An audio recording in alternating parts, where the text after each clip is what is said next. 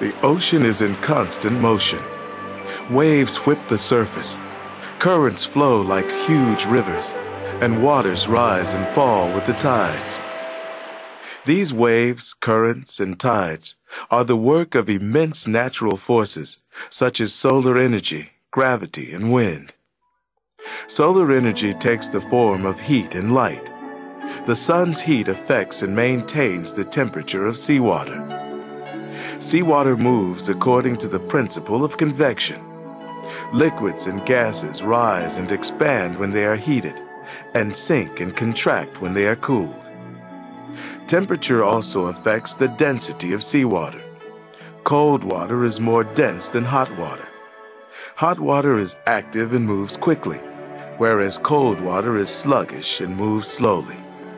In the deepest part of the ocean, cold water moves very slowly. But in the upper, warmer areas, surface currents can flow rapidly, carried along by the winds.